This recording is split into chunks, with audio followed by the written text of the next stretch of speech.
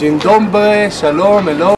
My name is Amir Telem. I'm an uh, MBA Israeli student, and this is the fourth scene of uh, my uh, Polish project for the delegation of uh, 2010. My wish is uh, to present the Polish uh, young people how beautiful and how important and how holy is Israel. I have two helpers, Cornelia and Dominika, a Polish student. Behind us you can see the most holy place in Israel. Um, it's the West Wall and uh, we'll soon go put a note in, inside the wall. And uh, that's it. Enjoy the movie. Nazywam się Tele- Telem, jestem studentem w Izraelu, w Tel. Moim, e, w moim projekcie, który wykonuję we współpracy z ambasadą polską, zamierzam pokazać młodym ludziom w Polsce, jak piękny jest e, Izrael. Jesteśmy teraz w Jerozolimie, za nami jest ściana płaczu i za chwilę zejdziemy na dół, żeby włożyć e, karteczkę z modlitwą do szczeliny ściany.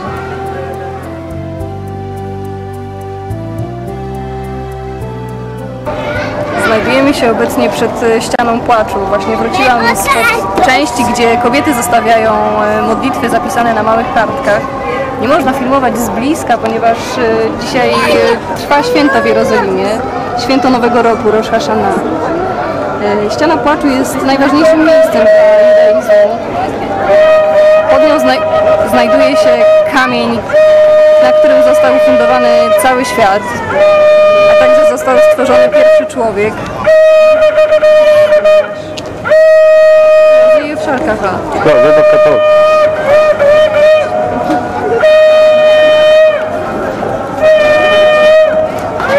To, co tle, to dźwięk e, szofaru e, oryginalny dla tego święta, który właśnie trwa, Rosh Hashanah. Tak jak mówiłam, ściana płaczu jest jedynym elementem, który pozostał po świątyni żydowskiej, która stała w tym miejscu. Jest to najważniejsze miejsce dla, dla judaizmu i Żydzi z całego świata przyjeżdżają tutaj, pielgrzymkują, zostawiają modlitwy. Teraz znajdujemy się na rynku w części muzułmańskiej Starej Jerozolimy, w bardzo różnorodnym miejscu, pełnym kolorów, e, zapachów e, i turystów z całego świata. W tym miejscu można kupić wiele pamiątek, które e, przywożą ludzie z Jerozolimy. Przyprawy, biżuterię, ubrania. Jest to miejsce niezwykle, niezwykle różnorodne i oddające tą różnorodność całego Izraela.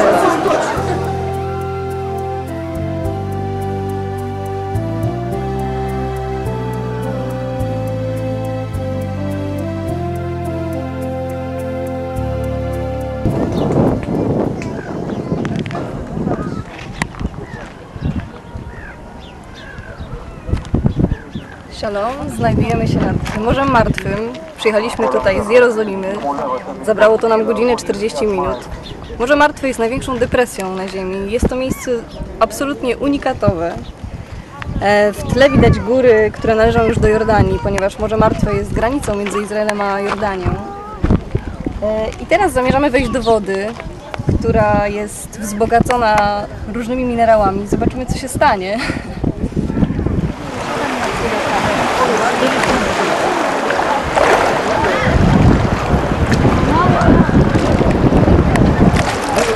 Cześć, jesteśmy nad Morzem Martwym, bardzo słonym, dlatego pływanie jest niemożliwe, ale można się bardzo przyjemnie unosić na wodzie, która ma właściwości lecznicze. Jest tutaj bardzo gorąco, bardzo przyjemnie. To naprawdę niezapomniane wrażenie i jedyne takie miejsce na ziemi, dlatego musicie koniecznie przyjechać do Izraela, żeby sprawdzić, jak to jest piękne. Cześć, to jest view z Morza Czarnego, który jest bardzo zdrowy. Wiele ludzi przyjeżdża tu specjalnie, by y, wymazać się tym błotem. Jest to trochę śmieszne, ale ma to niesamowite właściwości. Y, Odmładza nasze ciało, czasami nawet o 10 lat. Jeśli było.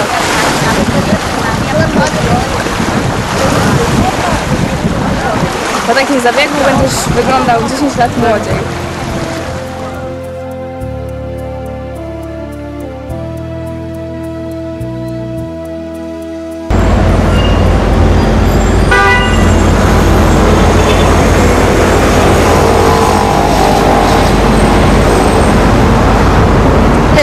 Dzisiaj jesteśmy w Tel Awiwie. To jest y, centralne miasto Izraela. Bardzo żywe y, i głośne miejsce bardzo otwarte i tolerancyjne. Jest tutaj duża społeczność y, gejowska y, i świetnie się tutaj wszyscy ze sobą dogadują. Jest to miejsce z tysiącem y, klubów, kawiarni, muzeów i miejsc rozrywki. Resha, Oprócz rozrywki jest tutaj też duży uniwersytet, y, do którego przyjeżdżają studenci z całego świata i uczą się w Tel Awiwie. I wszyscy razem y, wychodzą potem na typowo miejską, telawiwską rozrywkę wieczorami. Hello, for the last part of my uh, movie I would like to uh, make a short interview with uh, the most uh, charming Polish girl I met, uh, Dominika, and her sister uh, Cornelia. And we'll start with Dominika. Please present yourself and tell a few words about your experience from Israel. Mam na imię Dominika, jestem po studiach, skończyłam studia w Polsce. Jestem w Izraelu już nie po raz pierwszy. E, Mój pierwszy przyjazd tutaj był dużym zaskoczeniem tego miejsca. Jego różnorodnością, jego wielobarwnością, jego dużym zróżnicowaniem e, w stosunku do, do, do jego wielkości. E, Teraz mieszkam w Tel Awiwie i pracuję tutaj. I cały czas jestem pod wielkim wrażeniem i urokiem Izraela i, i tego, że oprócz bardzo ciekawych miejsc, takich, które każdy powinien zobaczyć, można tutaj znaleźć też swoje miejsce w życiu. Jest to niezwykle tolerancyjne i otwarte miejsce e, i takie, do którego mogliby przyjeżdżać e, ludzie i studenci z Polski, zwłaszcza, że to miejsce jest też owiane niesłuszną, złą sławą. Jest tutaj bezpieczniej, turystyka jest e, rzeczywiście na bardzo wysokim poziomie, także warto przyjeżdżać do Izraela, warto poczuć e, różnorodność Izraela i posmakować jego otwartości, tolerancyjności, wielobarwności.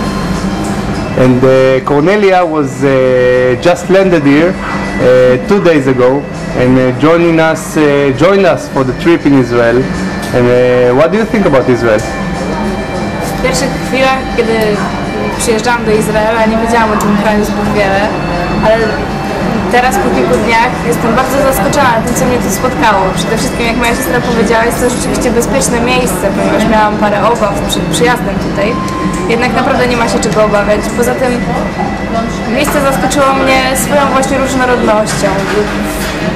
Małej odległości można spotkać naprawdę zupełnie różne światy. W Tel Awiwie, takim dość europejskim mieście, kwitnie nocne życie można chodzić do klubów, jest bardzo dużo młodych ludzi. Z kolei niedaleko jest Jerozolima, gdzie możemy spotkać zupełnie inny świat e, religijności i takiej ciszy. Oczywiście też warto wspomnieć o pięknej przyrodzie w Izraelu, zupełnie odmiennej, egzotycznej niż w Polsce, i pięknych plażach i naprawdę pięknej i miłej pogodzie. Thank you very much.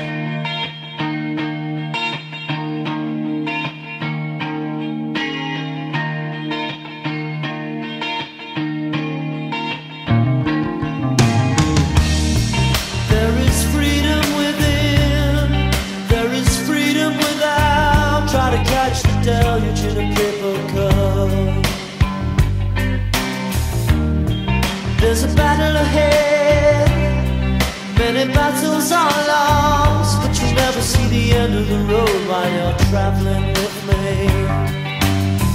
Hey now, hey